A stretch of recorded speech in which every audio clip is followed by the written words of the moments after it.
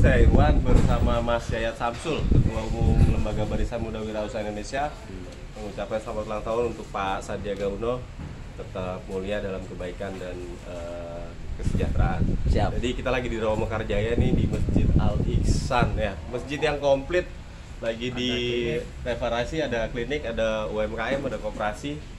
Eh, itu Pak Ustadz Dindin ketuanya beliau Mujahidin, Ustadz Mujahidin. Ada Pak Lurah kita. Ya, Pak Lurah. Kita programnya apa ke depan Pak?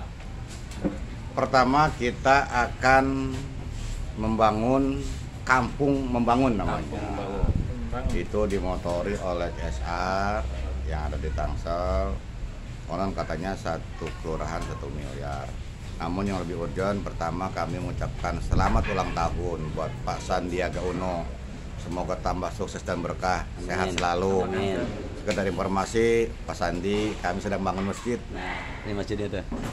Lagi dibangun. anggarannya 12 miliar.